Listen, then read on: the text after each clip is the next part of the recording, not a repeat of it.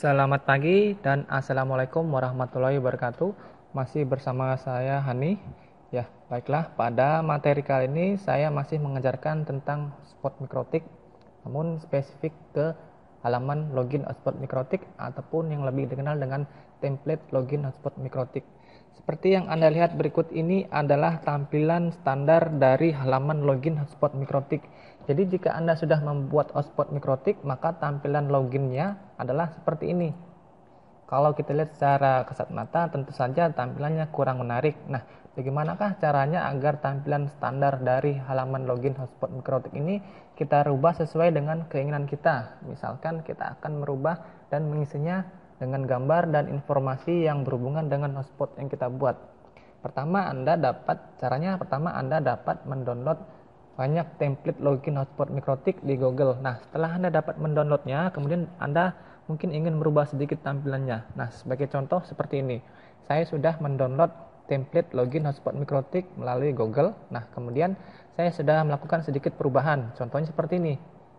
Ini adalah template login hotspot mikrotik yang sudah saya buat.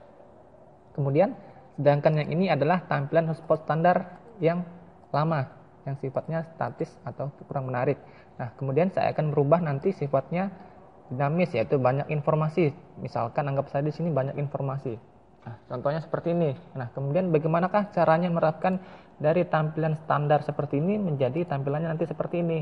Nah, caranya setelah Anda dapat mendownload template tadi, kemudian caranya harus diupload ke dalam router tadi. Caranya yaitu kita lakukan FTP namun sebelum melakukan FTP, Anda harus tahu dulu alamat IP dari komputer Anda.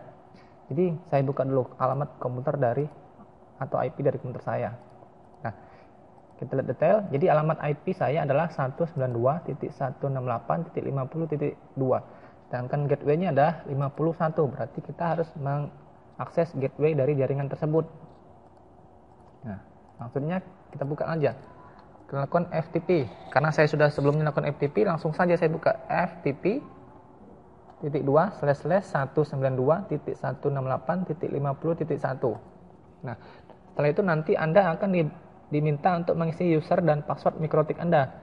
Karena saya sudah mengakses sebelumnya dan menyimpan passwordnya jadi saya tidak diminta kembali untuk mengakses passwordnya. Nah setelah terbuka tampilannya akan seperti ini. Nah anda dapat mengupload hotspot tersebut ke dalam folder hotspot. Nah, kemudian saya akan buka satu buah lagi explore yang akan saya tarik ke atas, contoh seperti ini. Ini adalah login template tadi yang saya download dan sudah saya modif dengan saya dan saya beri nama class. Kemudian saya tekan Ctrl A. Kemudian saya klik dulu di atas ini. Kemudian saya taruh ke atas. Ingat ini tampilannya pertama adalah IP kemudian folder hotspot. Sedangkan yang di bawah adalah file yang akan kita upload. Caranya tarik saja ke atas, kita, sama dengan kita copy. Nah, kemudian yes to all. Kita beri yes to all, artinya kita tindis yang lama dengan yang baru.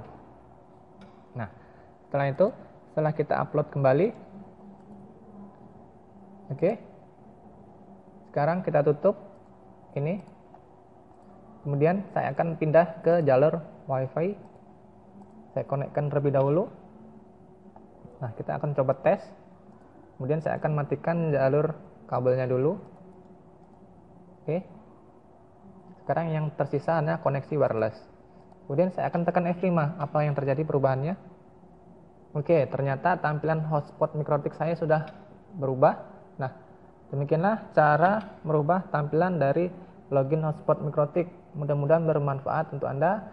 Akhir kata assalamualaikum warahmatullahi wabarakatuh dan terima kasih